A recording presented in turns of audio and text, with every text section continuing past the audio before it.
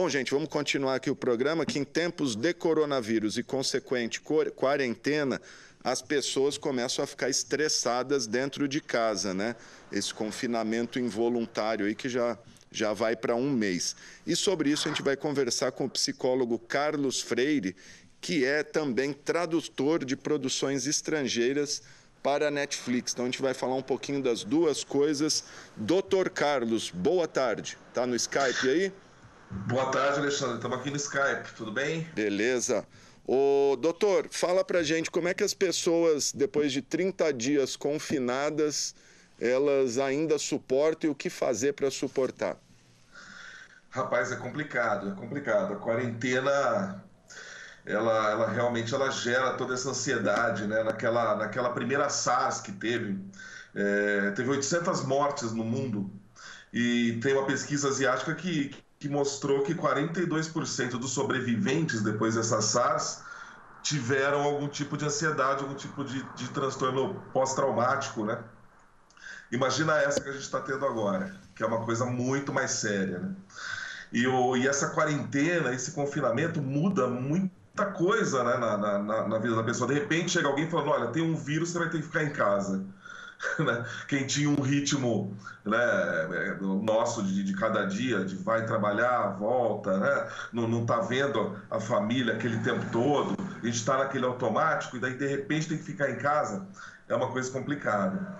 E aí junto vem, vem todos aqueles medos, né? Quando que isso vai acabar? A gente não sabe, né? A gente não tem informação de quando vai, vai acabar. Meu emprego, vou manter meu emprego, meu negócio vai falir né?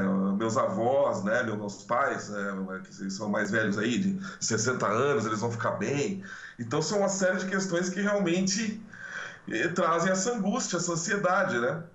E algumas pessoas são mais resilientes que outras, algumas são mais resistentes a, a esse tipo de mudança, essas saídas de zona de conforto do que outras, né? E, e, tem algum, vamos dizer, algum exercício mental que as pessoas podem fazer, uma, uma meditação, leitura de livros? O que, que você recomendaria aos seus pacientes? Tudo, tudo que, que, que possa é, fazer você conseguir conviver bem nessa, nessa situação de, de de quase confinamento, de porque é, no Brasil é muito diferente, né?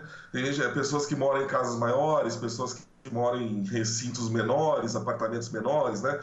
É, favelas, né? Quantas pessoas tem dentro de um, de um barraco de uma favela, né? Então muda muito de, de, de, de pessoa para pessoa, de dinâmica familiar para dinâmica familiar. Né? Então não é uma coisa tão simples assim que a gente tem uma receita de bolo para todo mundo, né? Mas a gente tem que sempre tentar aquele equilíbrio, que é, apesar de parecer um chavão, é, é, é, é, o necessário, né? Então, por exemplo, você mesmo falou livro, mas a pessoa não tinha contato antes, está no momento de poder fazer uma leitura, né? Tentar ficar longe de, de o máximo possível de redes sociais que são são zonas de, de desinformação, né? É, de, de, de, de, elas geram pânico por causa da desinformação, né? Não é uma informação só. Você, você tem especialistas, você consegue nas redes sociais, você tem também os malucos que falam um monte de coisa, teorias da conspiração. As pessoas não sabem como, como, como entender essa situação, né? Então ficar longe disso, é, não ficar ligado em, em notícias ali, coronavírus, coronavírus, Covid, 24 horas por dia, né? Ver as notícias, é claro, porque a gente está falando de ansiedade, a gente precisa saber o que está acontecendo, né? A ansiedade, ela, quando ela sai do equilíbrio, como eu falei do equilíbrio de novo, aí ela, ela, fica, ela fica ruim. Mas se ela está equilibrada, ela é importante para a nossa própria sobrevivência. Né? O medo, por exemplo. A gente não tem medo, a gente sai na rua sem máscara, sai beijando todo mundo, abraçando todo mundo, né? A gente precisa ter um, um pouquinho de medo, senão, senão não adianta nada. Né? A gente acaba morrendo, né? Então, é, é, é, essas coisas que são importantes. Outras pessoas indicam, sim, como você disse, é, meditação, né? Filmes, hoje em dia a gente tem os streamings, tem, tem games, né? É, que as pessoas podem, podem acessar, podem jogar, né?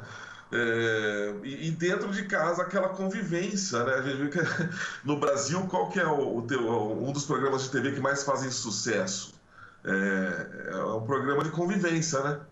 É um programa de convivência. Você vê que você coloca as pessoas lá três meses e não tem como, sai atrito, embora eles fomentem o atrito, né? Para criar aquela caricatura. Você coloca uma certa quantidade de pessoas juntas num lugar, sai uma briga, sai alguma coisa, uma, por causa de uma picuinha, né? Então é ter isso na cabeça, que qualquer momento evitar a picuinha na família ali, né? Toda aquela divisão, tem que tem que tentar reajustar toda a questão de espaço ali para cada um ter o seu, mesmo que seja pequeno, né? Todas essas coisas aí são importantes. Legal, gente. Estou conversando com o psicólogo Carlos Freires. Vamos falar um pouquinho da outra atividade dele, que ele falou aí do streaming. Ele é tradutor também da Netflix pra, de produções estrangeiras para o Brasil. Ele é tradutor, não dublador, né? Vamos, vamos até, até pedir para ele explicar a diferença do tradutor para o dublador. E ele que traduziu agora o último blockbuster aí da Netflix, que é o Freud. Queria que você falasse como que o fato de ser psicólogo te ajudou na tradução dessa, dessa obra aí e explica um pouquinho para a gente a diferença de tradução para dublagem. Ah, legal, legal, Alexandre. O, a dublagem, eu sou um tradutor para dublagem, né? especificamente para dublagem, como, como tem o tradutor para legenda, como tem o tradutor literário de livros, né? E, e, e outros, vários outros aí, né? A minha especialidade é para dublagem faço a versão brasileira, né, como dizem, né? É, existe um processo na dublagem. O primeiro delas é a tradução da obra. Chega para gente, né? Nós pegamos o original, seja em inglês ou qualquer outra língua. No caso do Freud foi o alemão, né?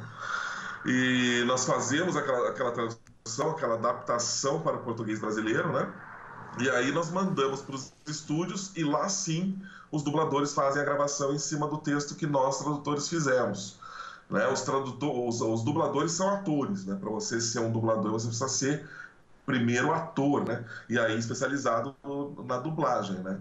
Freud foi uma série muito legal da, da, da Netflix, né? Que, que foi recente, que eu fiz a tradução e foi incrivelmente dublada no Rio de Janeiro, no estúdio do Rio de Janeiro, chama MGE Studios, é, por grandes dubladores, Márcio Simões, por exemplo, que é o, que é o mesmo dublador do, do Coringa, né? E foi uma série muito legal. E claro que a psicologia ajuda para facilitar, é, principalmente em tempo de pesquisa, né? Porque algumas coisas ali, como psicólogo, eu já tinha noção de termos, expressões, né? Do que queria dizer, onde o autor queria chegar. Então isso facilita, é, é, principalmente no termo, adequação de, do, do, do, dos, dos, termos é, técnicos ali da psicanálise, no caso, para o português, né? Então isso, isso facilita muito. Tá certo, gente. Tá aí o doutor, é, o doutor psicólogo e também tradutor Carlos Freires. Qual outro, só de curiosidade, qual outra, outra produção da Netflix que você já traduziu?